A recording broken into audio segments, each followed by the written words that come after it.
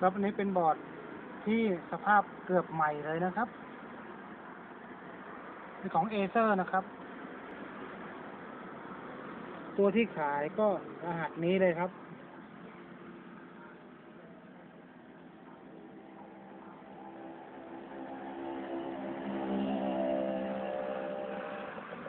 ไม่มีตำหนิไม่มีแตกไม่บิ่นครับ เพิ่งโดนไฟครั้งแรกเลยครับ บอร์ดตัวนี้ เดี๋ยวผมเปิดดูก่อนนี่เขาติดแล้วครับเวลาเราขึ้นหน้า BIOS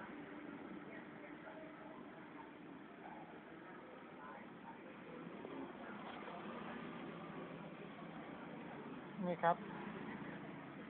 รอแค่ใส่ฮาร์ดดิสก์บูทเท่านั้นเองนะครับ บอร์ดไม่ได้มีปัญหาอะไรนะครับ